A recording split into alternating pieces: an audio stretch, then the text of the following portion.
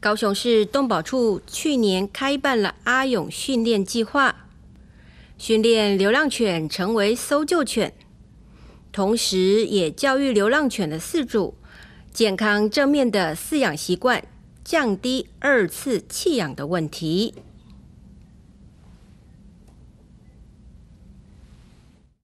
每一个生命都有它的出口。曾经流浪街头的平平也是这样。上个月他还在冈山街头生活，可是现在他已经是有礼貌、懂得接受指令的活泼小狗。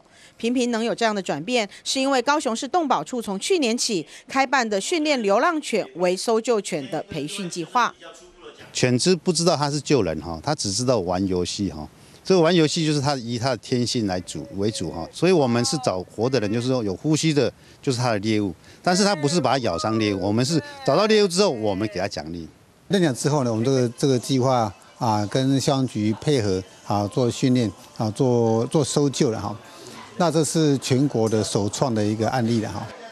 因材施教不只是对人，对狗也是如此。胆识大、喜欢人是要成为搜救犬的先决条件。不过，如果狗狗比较胆小，还是可以来参加活动，因为这个培训计划也同时帮助认领流浪狗的饲主建立与毛小孩之间的信任感。当狗狗学会基本指令，然后它可以更容易进入家庭，它就不会有后续弃养的问题。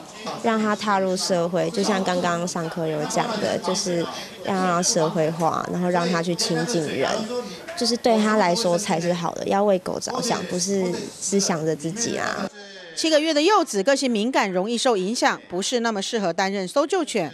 不过这个课程帮助幼子重拾对人的信任，也协助幼子的主人郑小姐做一个好妈妈。